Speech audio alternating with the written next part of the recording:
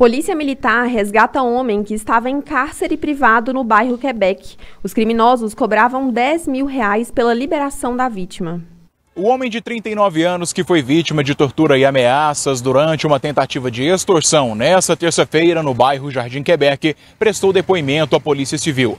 Após a conversa, o delegado de crimes contra a vida, Luiz Mauro Sampaio, afirmou que o processo ainda está em andamento e ainda há mais informações para se chegar à conclusão do fato. Bem, nós tomamos conhecimento que uma pessoa foi levada até a delegacia e lá teria revelado alguns fatos é, na delegacia informando que não teria sido vítima é, de tortura, e sim de uma outra situação.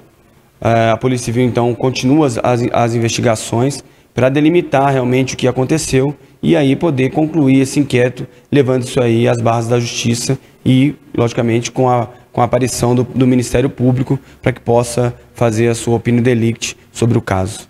Luiz afirmou também que ainda não se sabe a motivação da tortura e do cárcere privado, mas não descarta a hipótese de ser mais uma ação do tribunal do crime. Existe um indicativo, mas a gente não pode fechar causa nesse ponto, principalmente porque o fato ocorreu há poucos dias e agora a delegacia vai analisar o caso para verificar primeiro se é um caso que vai caber à delegacia realmente de crimes contra a vida ou se vai ser dirigida a outra delegacia. Fato é que a Polícia Civil, mais uma vez, através aí da ação da população, é, através da troca de informações com a Polícia Militar e através da coordenação do Dr. Flávio e também do Dr. Jean-Pierre, chefe de departamento, e o Dr. Flávio, delegado regional, a gente consegue sempre é, levar essa sensação de segurança, colocando atrás das grades os indivíduos que estão fazendo esses malfeitos.